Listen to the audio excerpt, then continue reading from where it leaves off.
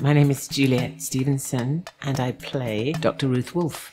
The play is a wonderful kind of tossing up into the air of lots and lots of current forces that are really shaping not only our personal lives but our political lives. I think you can expect a very exciting night in the theatre. There's a lot of wit in it. It's also, I think, quite powerful, quite moving. There's amazing music. It's visually very elegant. You will find yourself with strong reactions to what happens.